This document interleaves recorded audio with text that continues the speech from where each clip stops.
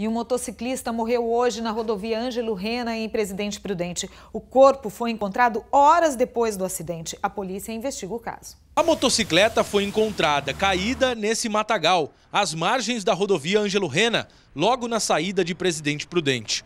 O corpo do motociclista estava ao lado, nesse buraco. Segundo a polícia, Tiago Ribeiro do Amaral, de 26 anos, tinha um grave ferimento na cabeça.